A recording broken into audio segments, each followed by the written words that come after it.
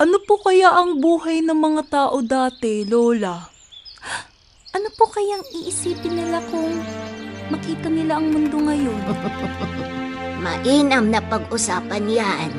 Hala, pakinig kayo at may kwento ako.